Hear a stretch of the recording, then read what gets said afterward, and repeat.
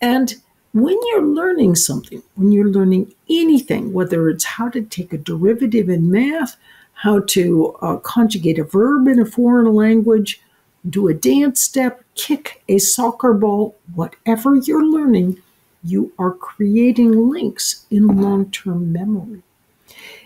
To strengthen those links, you practice, but practice of a special kind, not rereading, not, not underlining and highlighting, but retrieving, remembering that information in your own mind. If you don't retrieve and practice with that information, your little synaptic janitors can sweep those dendritic spines away and you forget what you've learned.